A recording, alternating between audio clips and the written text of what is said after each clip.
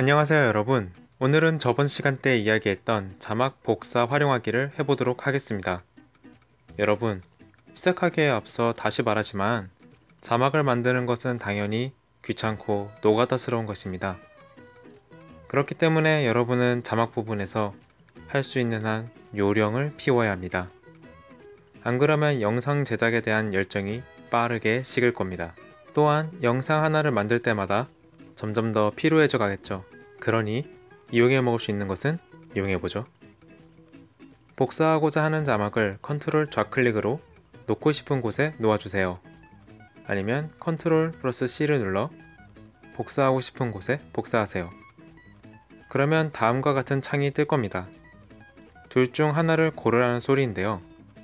첫 번째는 독립된 개체를 하나 더 만들어내는 것입니다. 이 선택으로 만들어진 자막은 원본과 완전히 분리되죠. 두 번째는 분신 개체를 하나 더 만들어내는 것입니다. 이 선택으로 만들어진 자막은 원본이든 복사본이든 누구 하나가 바뀌게 되면 사이좋게 전부 똑같아집니다. 저희가 필요한 것은 아무래도 첫 번째 선택지일 것입니다. 이런 식으로 자막을 여러 개 복사해 놓으세요. 얼마나 사용할지 계산해서 복사하지 않아도 됩니다. 어차피 다 만들고 남는 것은 지워버리면 장땡이니까요.